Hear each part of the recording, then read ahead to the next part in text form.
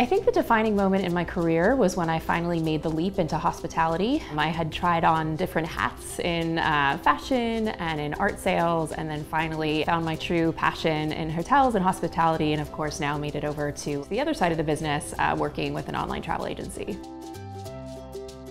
I was barely 30. I had the opportunity to work in the White House, and I remember my mentor saying, would you rather work with people or with budgets? And I said, people. I was thrust into a situation in the White House Office of Presidential Personnel where I helped people get jobs.